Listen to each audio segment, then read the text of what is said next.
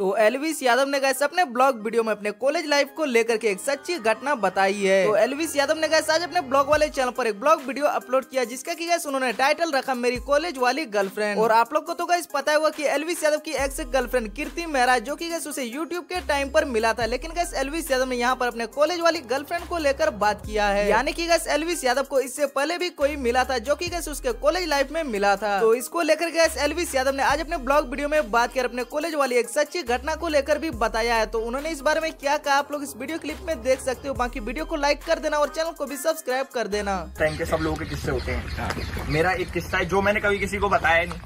तो एक्सक्लूसिव और माई ब्रदर्स और जितने भी मेरे व्यूवर्स देख रहे हैं उनके लिए। तेरे को बता कि मैं सीपी वाली जो सीपी में वो करा? हमारे को पता है पर पूरा भाई को बता ना भाई एक- मैं बताता हूँ क्या हुआ। रियल स्टोरी है कभी तुम्हें लगे कि बना के लेके आया घर से। नहीं नहीं है हिम्मत ही नहीं है और कॉलेज के टाइम की बात है प्रॉपर प्रॉपर कॉलेज के टाइम की। भाई क्या हुआ मैं हम लोग थे सीपी में। मैं पहले ना बहुत गुस्से था अब भी हूँ पर अब बहुत कम हूँ। पहले